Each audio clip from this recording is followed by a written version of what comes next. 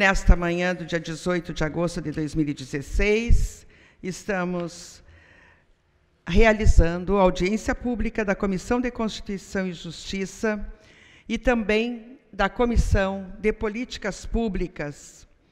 É, conosco estão o nosso colega vereador César Game e também o doutor Francisco Severo, engenheiro do IPLAN, o nosso eh, Wagner Bittencourt, secretário de município da habitação, e depois eu citarei outras pessoas que eh, conosco assistem esta audiência. Em primeiro lugar, vou pedir para o nosso colega César Guem, da Comissão Serviços Públicos, para que faça a leitura do edital de convocação para essa reunião. Obrigado, presidente. Câmara de Vereadores, Centro Democrático Adelma, Adelmo Cima Genro, Santa Maria, Rio Grande do Sul, audiência pública. O presidente da Câmara de Vereadores, atendendo à solicitação da Comissão de Constituição e Justiça, Ética e Decoro Parlamentar e a Comissão de Políticas Públicas e Assuntos Regionais, convida os santamarenses, cidadãos e entidades representativas para participarem de audiência pública a ser realizada no dia 18 de agosto de 2016, 16, perdão, às 10 horas e 30 minutos, no plenário da Câmara Municipal de Vereadores. Na pauta, os seguintes projetos. Projeto de lei número 8409, de autoria do Poder Executivo, que define como área especial de interesse social, a ESIS, uma fração de terras localizada no bairro Salgado Filho, macrozona em Costa da Serra e zona 14 da Lei de Uso do Solo. Projeto de lei número 8410, de autoria do Poder Executivo, que define como área especial de interesse social, AESIS, uma fração de terras com denominação loteamento Cipriano Rocha, da Rocha, localizada no bairro Pinheiro Machado, zona 9B da Lei de Uso e Ocupação do Solo. Vereador Luiz Carlos Ávila da Silva, presidente da Câmara Municipal de Vereadores de Santa Maria. Santa Maria, 12 de agosto de 2016. Muito obrigada, colega vereador César Game. Neste momento, eu quero agradecer a presença do vereador Paulo Ayrton Denardim, também agradecer a presença dos funcionários da Prefeitura Municipal, a Natália, do IPLAN, a Natália eh, Valentim, da Secretaria de Habitação. Nós queremos agradecer a presença do senhor Antônio Padilha, que também representa a Superintendência da Vigilância Sanitária, as assessorias da Câmara de Vereadores, que aqui se fazem presente, e os demais eh, participantes dessa audiência. Nós estamos com, então, duas é, dois estudos consolidados em dois projetos de lei. O primeiro é que define como área especial de interesse social, que depois o senhor Wagner vai nos dar uma explicação do que seja é, área de interesse social, para que a população de Santa Maria é, tenha uma noção é, correta do que significa isso no loteamento, é, numa fração de terras é, próximo ao loteamento Cipriano da Rocha, e, localizada no bairro Pinheiro Machado, na zona 9B da Lei de Uso e Ocupação do Solo, e também de uma fração de terras localizada no bairro eh, Salgado Filho, macrozona em Costa da Serra e zona 14 da Lei de Uso do Solo. Uh, esses projetos de lei tem uma significação especial. E para iniciarmos a nossa conversação, nós gostaríamos de solicitar uh, a palavra do presidente do IPLAN, engenheiro Severo, para que ele nos coloque a realidade fática desse assunto. Uhum.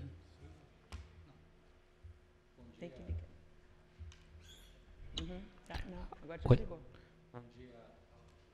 Vereadora Sandra Rebelato, presidente desta sessão, vereador César Guem, vereador Paulo Denardim, senhoras e senhores. Na realidade, o, o, município de Santa Maria encaminha esses dois projetos de lei, tornando áreas de interesse especiais de interesse sociais, social, uh, é, buscando de forma regulamentar, dentro de um processo de regularização fundiária, aonde o meu colega, o secretário de Habitação, eh, Wagner, vai explicar posteriormente, mas é, é, um, é um fato necessário para darmos prosseguimento a, ao processo de regularização fundiária que vai culminar né, com a documentação entregue ou propiciar, no caso da zona norte da cidade, o documento de, da, de propriedade daqueles moradores que residem no, nestes locais. Áreas especiais de interesse social, na realidade, são espaços públicos e que, a partir do regime legal da aprovação por lei específica, permite um regramento de forma a propiciar a, a documentação legal aos moradores desta região. Por que isso? Porque dentro do Plano Diretor de Desenvolvimento Urbano, nós temos um regime urbanístico para essas zonas e que muitas vezes, e na maioria dos casos, eles não são contemplados estes, estes locais em função de não terem né, esse espaço regrado de acordo com o plano diretor. Então, a aprovação dessa lei permite que nós sigamos no processo de regularização fundiária, tal qual está sendo ocupado o local aonde as pessoas residem. Era isso. Nós agradecemos a manifestação do engenheiro Severo e passamos a palavra ao secretário atual do, da Secretaria de Habitação.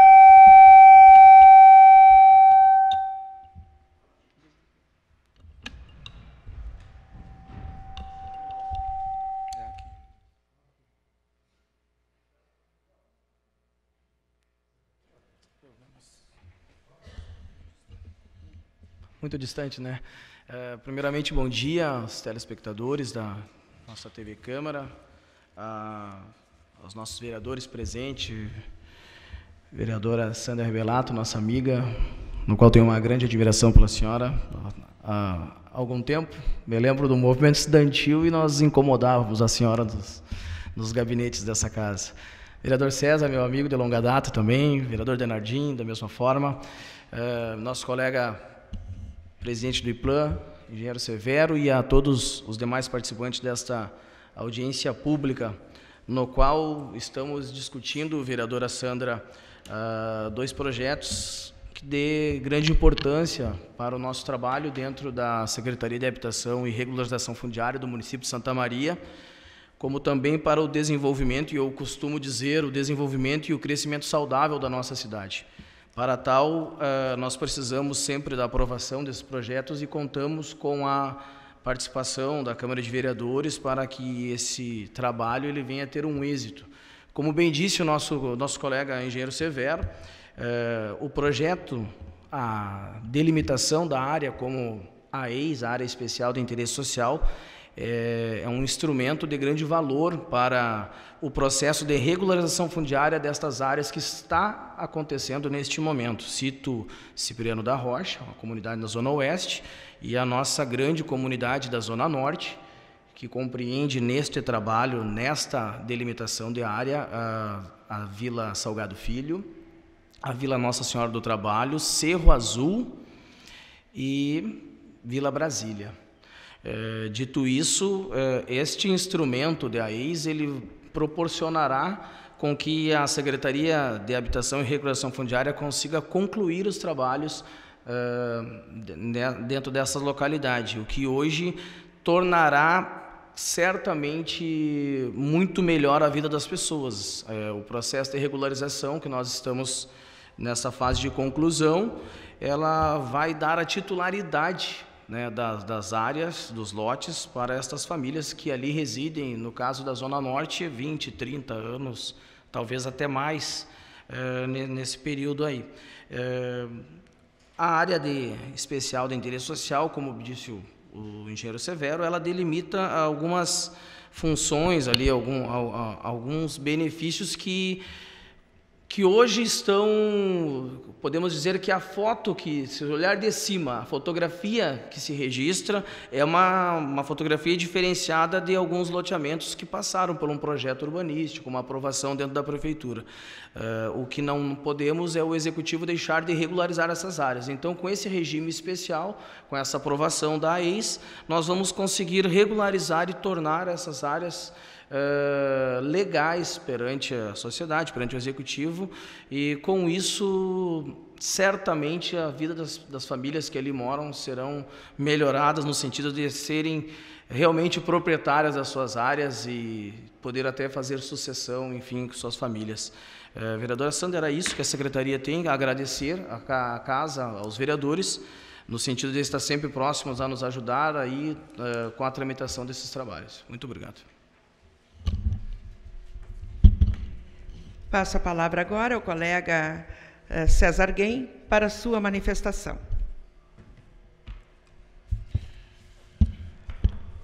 Bom dia, presidente. Bom dia, engenheiro Francisco Severo, presidente do Instituto de Planejamento Santa Maria, que faz, aliás, um excelente trabalho à frente dessa autarquia municipal.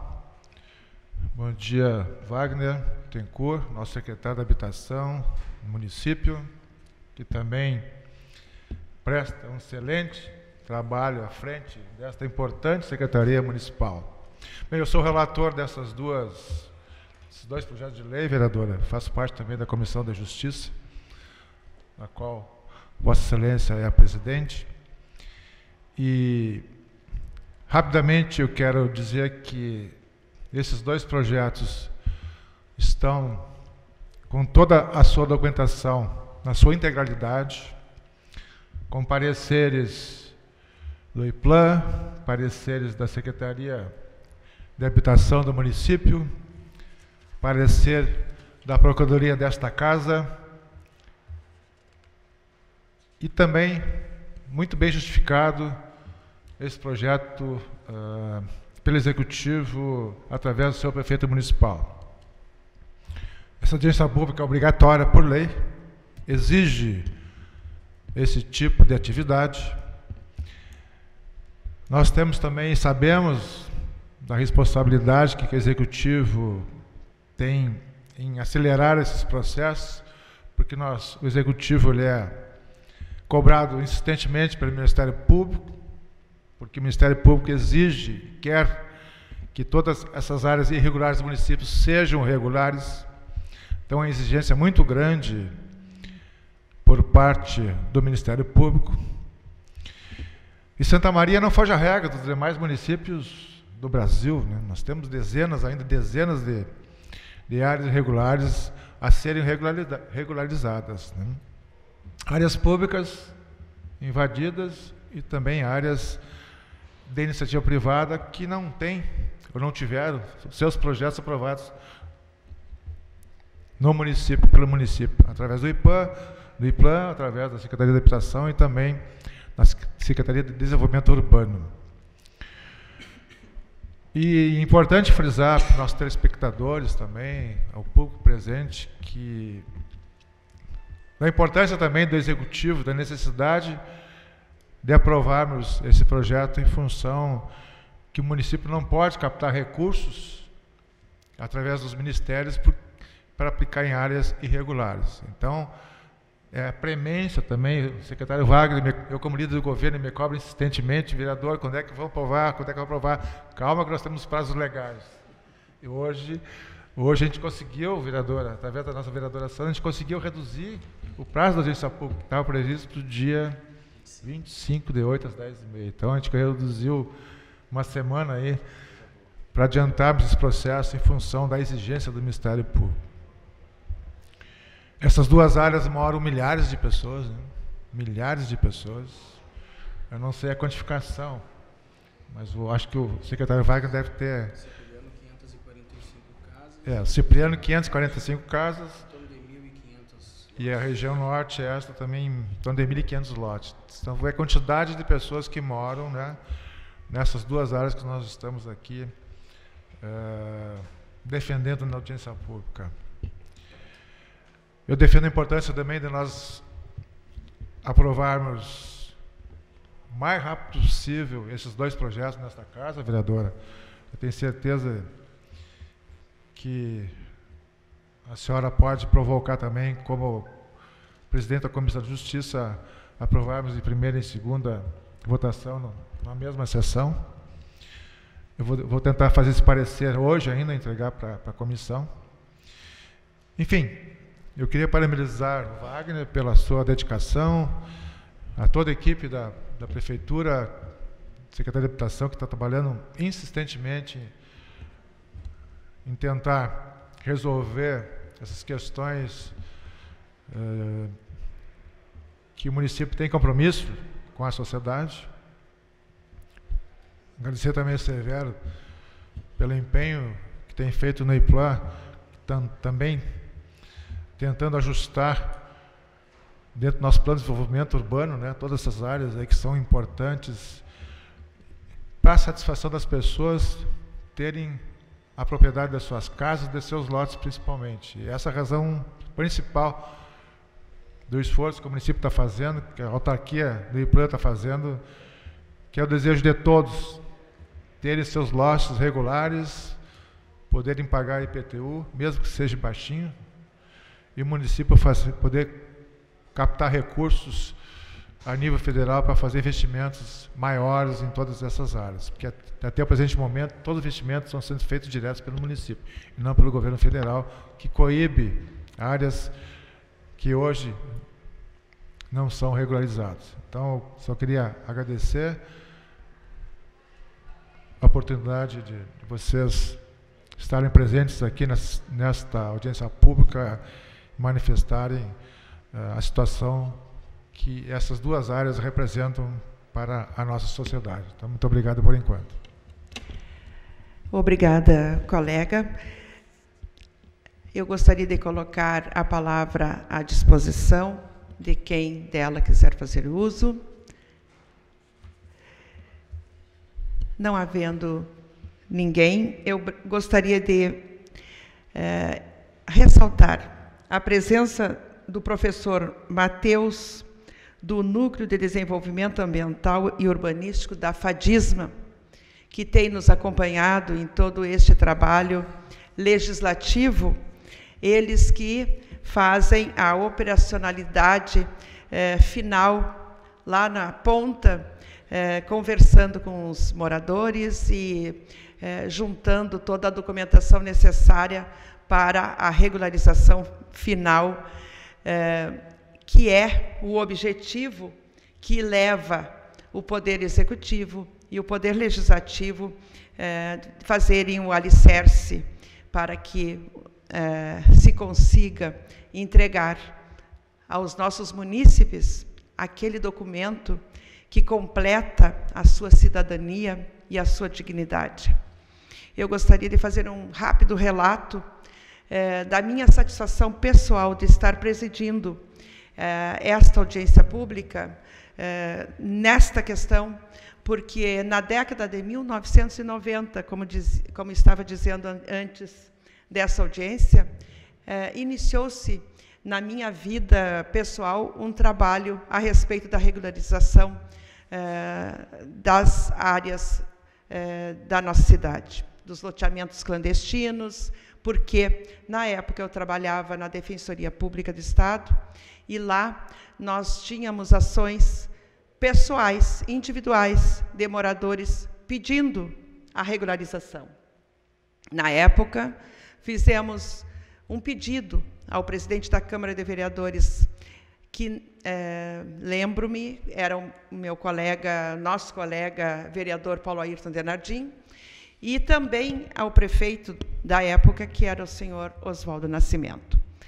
E pedíamos a eles que tomassem as providências legislativas e executivas necessárias para a regularização, porque o Poder Judiciário não tinha esta competência de conseguir fazer a regularização. Era um problema é, dos dois poderes, mas que, pela não execução, estava caindo no Poder Judiciário. Assim, é com muita satisfação que, muitos anos depois, mas é, este tempo é o tempo necessário para eliminar a complexidade dessa situação. Vejam senhores que para chegarmos à documentação individual de cada lote, nós precisamos estabelecer regras coletivas e que estão condensadas nessas duas, nesses dois projetos de lei.